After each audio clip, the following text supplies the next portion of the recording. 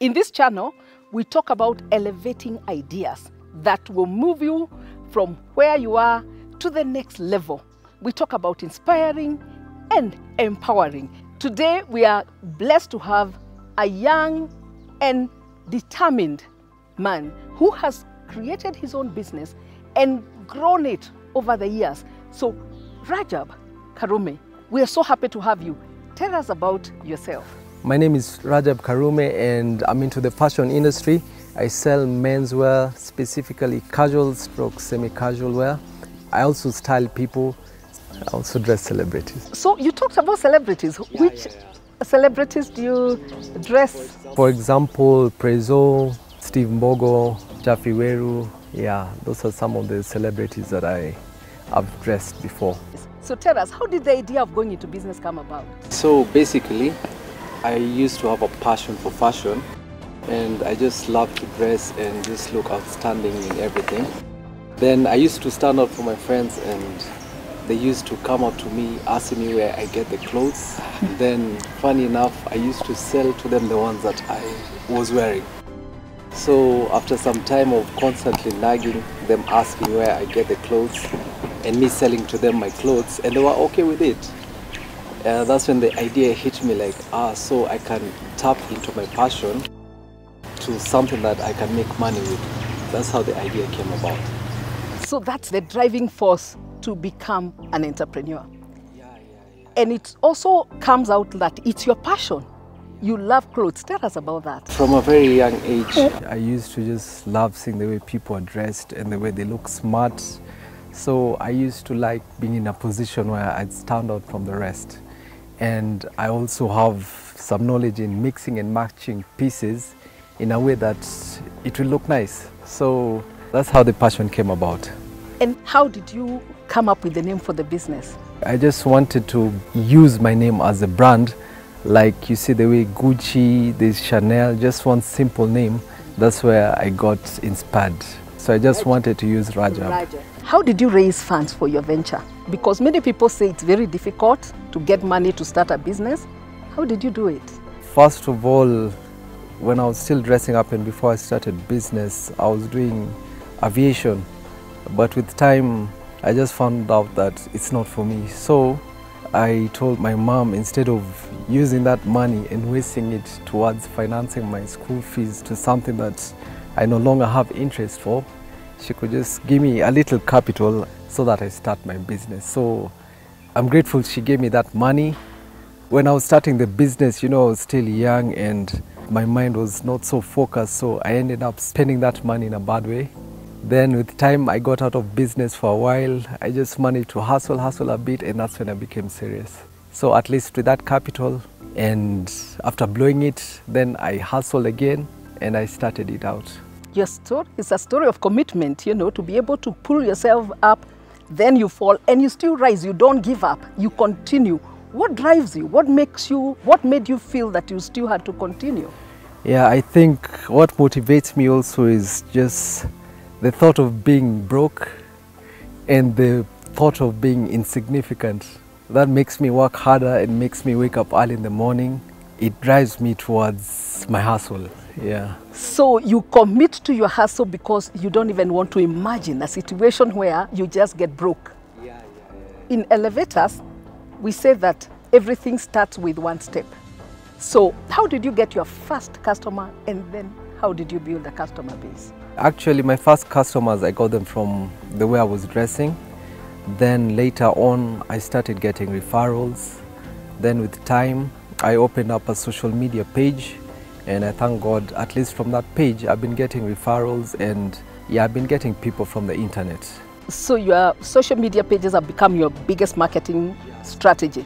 I actually checked it out and I saw beautiful clothes for men and shoes and wallets and uh, the like. So you only deal with male clients? Yeah, just male clients, yeah. Okay. Yeah. And you provide them with, what would you, how would you describe the style? Okay, it's sort of smart casual. It's not official, just the casual and a bit of funkiness also into it. Smart, casual, Casual. funky. Yeah, yeah, yeah. yeah. Great. Let's talk about this thing. People say that entrepreneurs work for too many hours, and that scares a lot of people. Is that true for you? How long do you work? From 9 a.m. to about 8 p.m. But you see, the thing with doing the thing that you love, even if you work overtime, you don't get to realize that you're working overtime because you have a passion for it. You don't find like it's that much of a task, unlike where you're employed or you're working for someone. Within that, if they give you like an extra time, you'll find it's hard to cope with because maybe you don't have a passion for it. So it's a passion.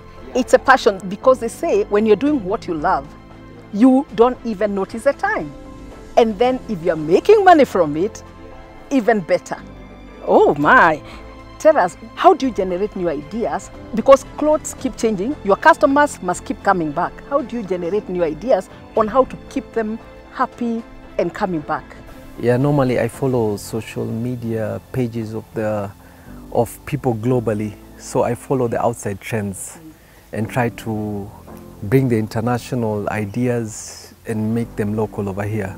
And there also the fashion evolves very, very fast. So I try to keep up with their pace. So you go Yeah. ahead, you bring ahead of many other people. Yeah, yeah, yeah. I bring ahead of many other people. And also the problem with bringing things like here in Kenya ahead of many other people is sometimes when you bring the commodities here, they won't understand it. Then after about a year, it's when they're asking you, by the way, do you have that thing? Do you still have that thing? And you brought it much earlier on and they just couldn't figure it out. So what you're Yeah. saying is that in Kenya we are a bit slow So, in catching on to fashion. Yes, yes. and so yes. you have to wait. So you are maybe your advantage is the timing. Yeah, even the timing, I must say. Like you see, in Kenya, comparable even to like Tanzania, they're ahead of us like in fashion and other things. Kenyans are a bit slow in picking fashion. Oh. Do you sell to the region? No, no, no, no, no, I don't. But I also see their stuff. That's why I know they are ahead. Now, apart from your social media, uh, you have a retail outlet in Nairobi. Yes, yes, Yeah, yes. tell it's actually it. it's actually in town. There's that building called Yala Towers. Though I didn't start from there, I'd started from different places, and within that duration of time, there were also challenges that made me move from place to place. But now I thank God where I am. I'm comfortable with that place that I'm in. Though I faced a lot of challenges also, but I thank God they have not deterred me. They've actually made me stronger in pursuing what I love. So you say the challenges have made you stronger. What kind of challenges have you faced? Like sometimes there's this money that we pay goodwill before you enter a store. So maybe you pay a huge amount of it. Then you're supposed to stay at the store for maybe five years. Then all of a sudden one morning the owner just comes and says you people have to move. They give you like five days notice and you see with five days notice and your clothes are there, you have no idea where you're taking them or where you're going or how you'll start again. You get so confused to the point of giving up and just saying like, I'm tired of this thing. But God is just there and He's managed to open up ways for me. Such challenges are really difficult. Sometimes also you order for stock from outside and you spend a lot of money. Then with the cargo and clearance things, you just find that the goods either they get lost or uh, they're held up by KRA. Like now, there's some goods I'd ordered from Turkey maybe about two years back, and up to now I haven't received them. They just disappeared. Yeah, they just disappeared. And the Uh, freight company, what are they saying? they just said they'll compensate, but you know, you can't wait for that. It's actually tough. But you see, with doing the thing that you love, it makes you harder. You're still committed. Yeah. No matter how hard you push and commit to your hustle. Yes. Oh, great. You talked about um, facing up to the challenges, overcoming the challenges. Do you pray a lot about your business? Yes, I do pray. Yeah, I think even that's one thing that has actually elevated me. I really pray a lot about it. Tell us, what is your definition of success? Success is actually relative because to some people it can be money, but also you can have so much money but you don't have happiness. Part beneficial impact that you leave on society, maybe changing someone else's lives. It's also contentment and it's being also on the righteous path. Yeah, so I'd put it in three perspectives being on the righteous path, contentment. Money is important too, but it's not success as such, but it is important. Wow, what a profound definition. Do you think there is a, a kind of formula in becoming a successful entrepreneur? No, I don't think there's a formula as such. It just all amounts to working hard, being committed, dedicated, and having patience and having faith also. I don't think there's a formula. Just base it upon that. Work hard, Work be hard. committed, Yeah, Be be, patient. consistent, patience, and put God, the Almighty. Put ahead. God first. Yeah, yeah, put God first. Wow, and be grateful. And be grateful. Yeah, Oh, yeah, thank you. yeah. And humble. Oh, you believe also humility has a Humility, yeah, it has a lot to play. play. How does humility help in business? I've seen also some people are not humble and they've been to the top and they've been brought down seriously.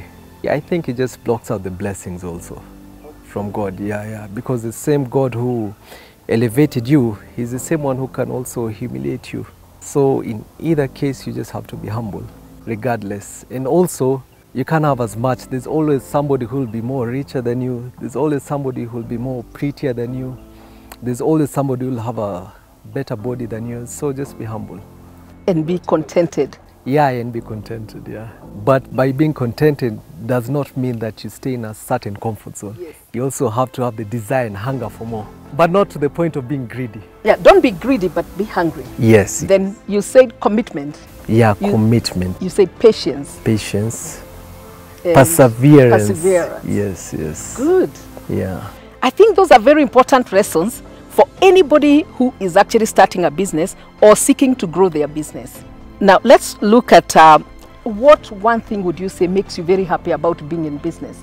What do you enjoy? What gives you great satisfaction? The fact that I don't have to work hard for somebody else. Yeah, just that freedom because I don't like taking orders from people. So just being my own boss, at least, it, it makes me content.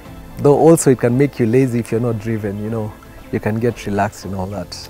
How about when you see the happy faces of your clients? Yeah, that's the other thing, especially when they refer you to somebody else with positive vibes, and also when they get satisfied with the product that you sold to them. Yeah, it gives me that contentment also. So, what kind of advice would you give uh, the many graduates who are looking to start a business and they say there are no jobs and they're looking to what can I do? How can I start a business? What would you tell them? Most of the people they wait for this perfect opportunity, perfect timing, perfect money, and you can't get that. I just tell you to start from where you are with what you have, and the rest will fall in place. And you don't have to be great to start, but you have to start so that you can be great. To these young people, what would you say are three skills that would help them in developing in their agenda to be an entrepreneur? Some of these skills, you know, like you can research on them on YouTube because there's not just one skill that will help you get there. And some of these ideas, they can check everything. These days, you know, we have the advantage of the internet, and there's so many things, skills, and strategies that would empower youths to get to where they want to be. So I just advise them to make the process of researching be their greatest friends, especially on YouTube. And they should just not waste time on the internet looking at irrelevant things that would not benefit them at all. So with YouTube, there's so many great videos of people out there that would help them towards propelling them in their future. Amazing because I think a lot of young people are distracted by when you go to the internet, they're distracted by the many pop up stories that take you to stories about other people and the like, gossip about this and that. Yes, yes, yes. But how do they focus? And you know, one click leads you to the next click, and another one pops up, and by the time you realize, you'll have noticed that you've wasted about three or four hours doing totally nothing, just going from one click to the next, following people's lives. And these people who you're following, they're making their lives better. And you, you're just here following their lives, and you're getting depressed, demotivated, because you think now you, you, you just cannot do anything at all, you see. So I just want them to focus and they have to have a pen and paper and jot down the points and everything. Like they should follow up some of these seminars, their lectures, motivation speakers, they normally organize this kind of courses and everything. They can do the research and find out where they're active because we also have Kenyan motivation speakers and all that. and they can go to such seminars and they'll benefit from, from that. So thank you so much. It was such a pleasure talking to you. And uh, these are elevating thoughts that can inspire other young people to be able to rise up. And I believe that if more people could come into business and be able to succeed like you have, then there will be less strife in the world. So thank you very much. We really appreciate your time and we wish you the very best.